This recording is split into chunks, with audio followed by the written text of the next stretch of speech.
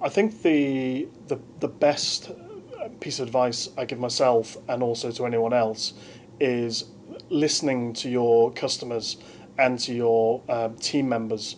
You know, you invest a lot of money in your team and listening to what they have to say, especially those that are client facing, um, who understand life through the eyes of their customers.